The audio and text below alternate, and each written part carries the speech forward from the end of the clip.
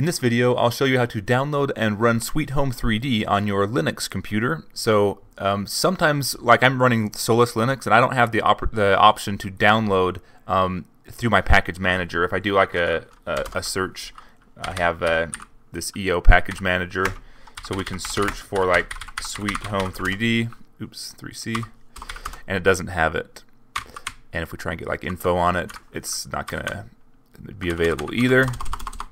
And so if you don't have it available, I think like Ubuntu does and some of these other ones, but Solus does not have it available. So what I actually need to do is go to the download page here and go to the 64-bit installer on my computer.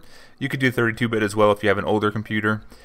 But that takes the link, it's to SourceForge, and uh, we'll just download it here. So we'll go uh, save file and go OK. And now that's going to be downloaded. It's going to go to my downloads folder uh, I'll pause the video while this downloads. So now that that's done downloading, I can go to it. I can click this uh, folder here. I can go to it in my downloads folder. Um, and we see we have this archive. So we can actually right click, and I think we can just go to extract here. We can also extract it from the command line by doing, um, if we go to that directory where it's at, uh, and we go, uh, we can go just tar, and then we go extract these files, and we go to sweet, there we go. So this will extract it as well, and now we actually have uh, an actual directory we can go into.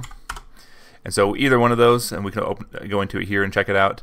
And then what we want to run is um, on Solus, we want to run this one with the Java. So there's two sort of there's a Sweet Home 3D program, and then there's a Sweet Home 3D Java 3D.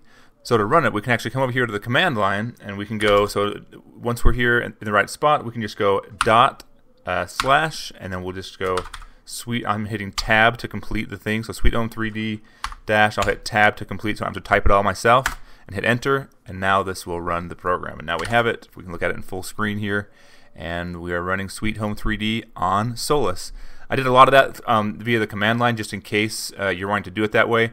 You can also click, um, you can also right click and we can open with other application.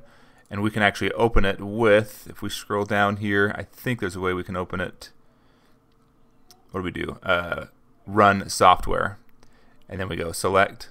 And now when we click on it, it should just open it up. So that's just a quick way that you can run Sweet Home 3D if it's not available in your package manager on Linux. This should work on a lot of different uh, Linux distros, uh, but your mileage may vary. But again, th this is working on Solus for me, and so hopefully that uh, helps you out. Go ahead and like, comment, subscribe, leave your questions, comments below if you have any, and I'll catch you in the next video.